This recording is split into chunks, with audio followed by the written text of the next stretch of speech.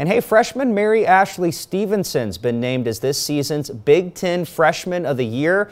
Stevenson's the first Purdue freshman to be awarded this honor in 20 years. The last Boilermaker to be named Freshman of the Year was, oddly enough, her coach right now, Katie Gearlds.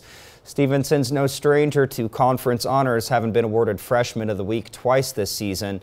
She's averaging 9.8 points and 4.8 rebounds a game this season and finished second in the conference in rebounding and scoring among freshmen. She's the second Purdue freshman to be given the honor this year.